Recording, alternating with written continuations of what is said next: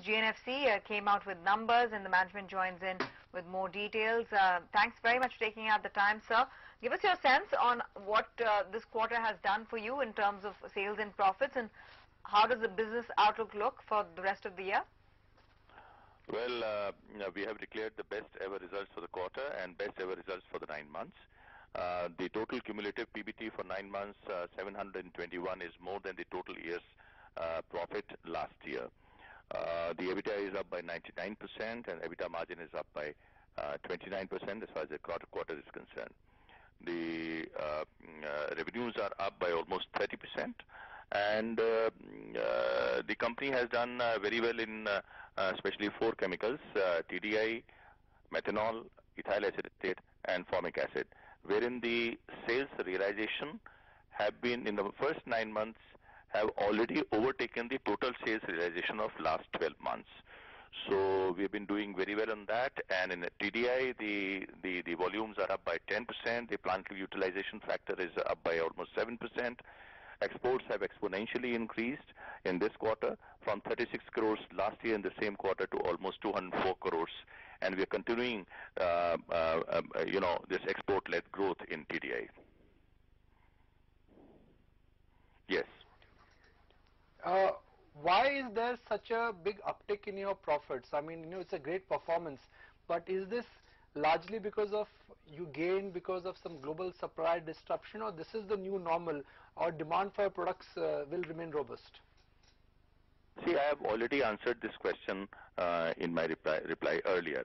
Uh, this company, as I said, should not be evaluated only on the basis of TDI. TDI, the demands have been steady.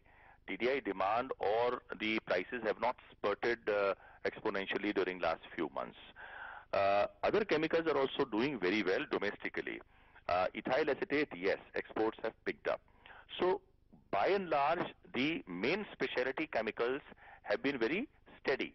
And the price realizations also have been steadily growing. There is no spurt in price realizations, but right now, if we talk of the domestic price realization of TDI, uh, we are uh, reigning at the maximum uh, price, almost 3, uh, 3, 3.25 lakhs. But exports, earlier they were about 4,500, 4,600, but now they have come down to about $4,000, uh, $4,100, which is very steady. Now the prices are not coming down.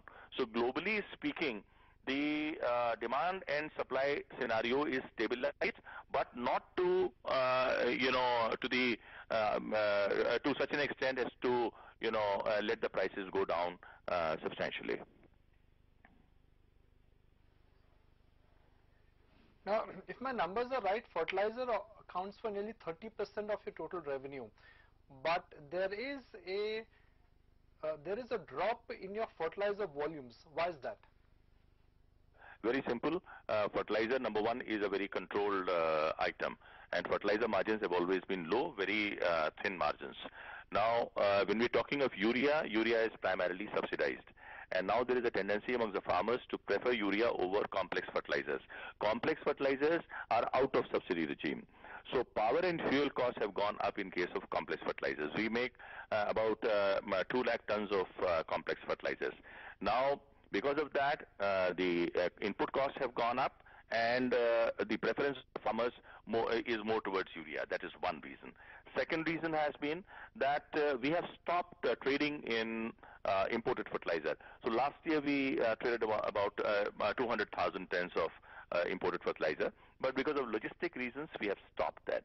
And the third reason is that um, the coal prices and coal supplies Uh, mm, uh, have been a bit of issue during the last four months because coal, most of the coal supplies have been diverted to power plants. And as a result of that, we have been forced to import coals, coal. So therefore, the margins in fertilizer sectors are down. But the volume of uh, manufactured fertilizer is up by 6%. Thank you for joining us.